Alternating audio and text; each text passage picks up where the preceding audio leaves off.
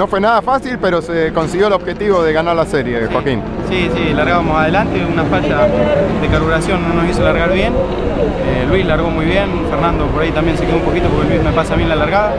No se hizo fácil, venía Luis muy rápido, veníamos los dos muy rápido pues nos separamos del resto.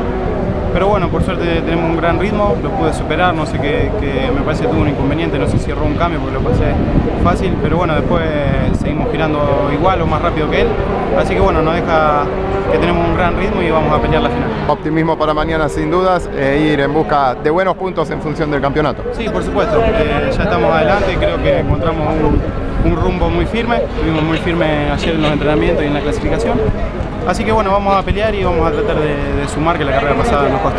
Felicitaciones, excelente trabajo hasta el momento. Bueno, muchas gracias, déjame agradecerle a Juanjo Cazú, que la verdad tengo un misil, a todos los chicos del equipo, a, la Tota y a Mati que no se pudieron quedar, pero bueno, eh, esto gracias a ellos no se cayó nada, así que muy contento.